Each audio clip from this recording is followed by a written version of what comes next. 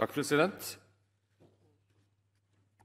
Vi kan eh, se dette eh, representantforslaget som en oppvarming til noe Stortinget har gledet seg lenge til, nemlig den lenge bebudede boligmeldingen, som uh, må uh, fremmes i kommende sesjon hvis den i det hele tatt skal bli en realitet for dette storting.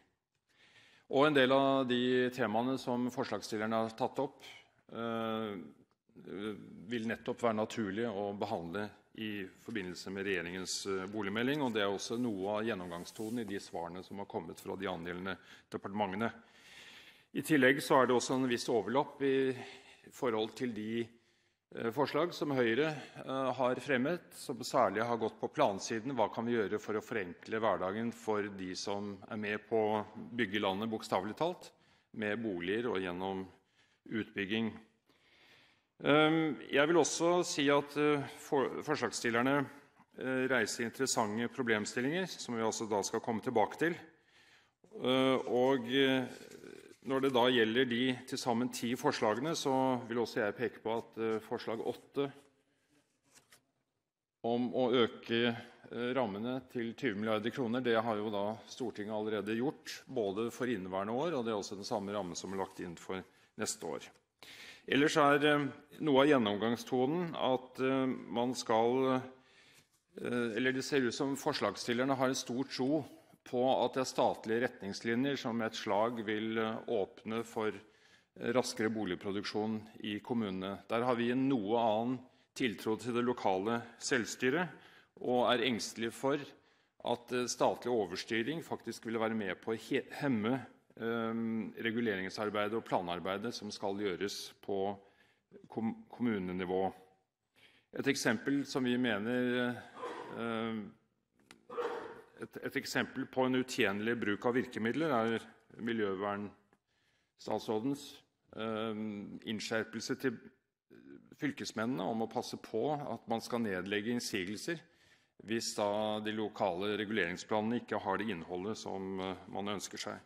For øvrig er en del av de synspunktene som uh, forslagsstillerne uh, fremmer, mer å ta med seg i det lokale kommunestyret enn å si at Stortinget skal eh, sentralisere behandlingen eh, fra et eh, ståsted i landets hovedstad. Vi har stor tro på, også når det gjelder kjøpesenterutvikling og annet, at man kan ha sunn fornuft og forstand i det lokale kommunestyret.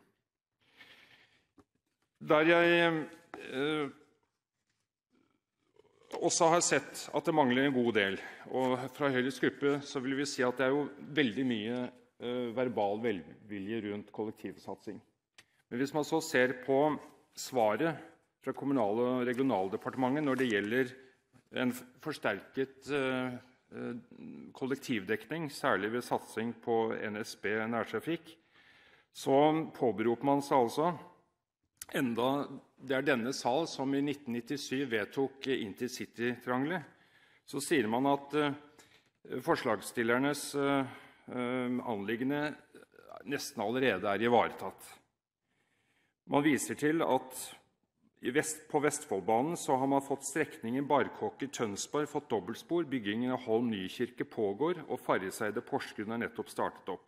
Langs Mjøsa bygges det nå vei og jernbane samtidig, og heter det, planleggingen av nytt dobbeltspor mellom Oslo og Ski pågår for fullt.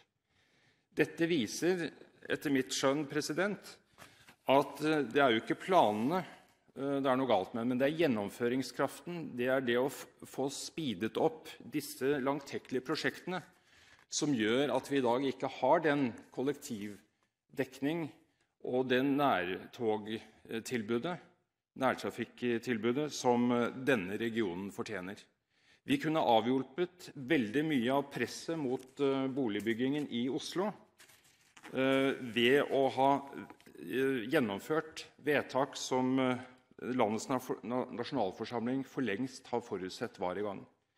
Så det er igjen dette at det vi nå ikke trenger, er flere papirplaner, flere initiativer som bare ender i skrivebordsskuffer, men rett og slett å realisere det Stortinget tidligere har fattet som prinsippvedtak.